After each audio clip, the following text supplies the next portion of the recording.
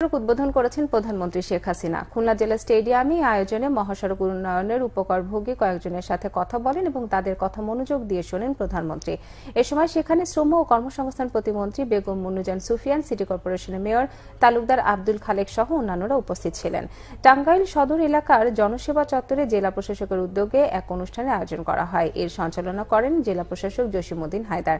কক্সবাজার জেলা প্রশাসনের সম্মেলন কক্ষে জেলা প্রশাসক মোহাম্মদ শাহিন ইমরানের সভাপতিত্বে আয়োজিত অনুষ্ঠানে তথ্য সম্প্রচার মন্ত্রণালয় সম্পর্কিত সংসদীয় স্থায়ী কমিটির সদস্য সাইমম সারোয়ার কমল, সংসদ সদস্য জাফর আলম, জেলা আওয়ামী লীগ সভাপতি অ্যাডভোকেট ফরিদুল ইসলাম চৌধুরী সহ অন্যান্যরা উপস্থিত ছিলেন।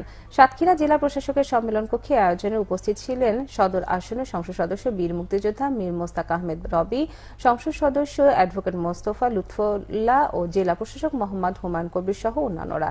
জয়পুরহাটে জেলা প্রশাসকের সম্মেলন কক্ষে এক অনুষ্ঠানের আয়োজন করা হয়। এ সময় জেলা প্রশাসক সালেহিন তানভীর গাজী জেলা পরিষদের চেয়ারম্যান অধ্যক্ষ খাজা শামসুল আলম সহ অন্যান্যরা উপস্থিত ছিলেন। মাগুরা জেলা প্রশাসকের কার্যালয় উদ্বোধন অনুষ্ঠানে করে না। মানুষের শান্তি, স্বচ্ছতা, জীবনমান উন্নয়নে সরকার কাজ করে যাচ্ছে জানিয়ে তিনি বলেন, সন্ত্রাস, জঙ্গিবাদ, দুর্নীতি নাকি উন্নয়ন, অগ্রগতি, সমৃদ্ধি, সেটা জনগণকে এই সিদ্ধান্ত নিতে হবে।